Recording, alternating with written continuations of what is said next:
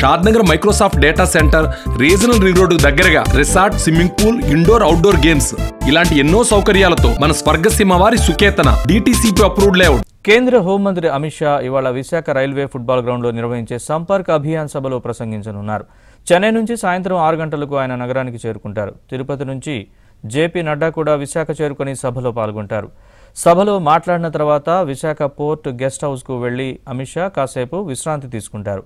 రాత్రి ఎనిమిది గంటలకు అక్కైపాలెంలోని సాగర్మాల ఆడిటోరియంలో శక్తి కేంద్ర ప్రముఖులతో ఆయన భేటీ అవుతారు. రాత్రి తొమ్మిది గంటలకు విమానంలో ఢిల్లీ బయలుదేరతారు.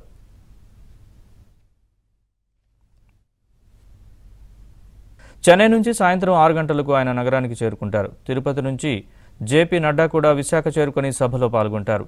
సభలో మాట్లాడిన తర్వాత విశాఖ పోర్ట్ గెస్ట్ హౌస్కు వెళ్ళి అమిత్ షా కాసేపు విశ్రాంతి తీసుకుంటారు.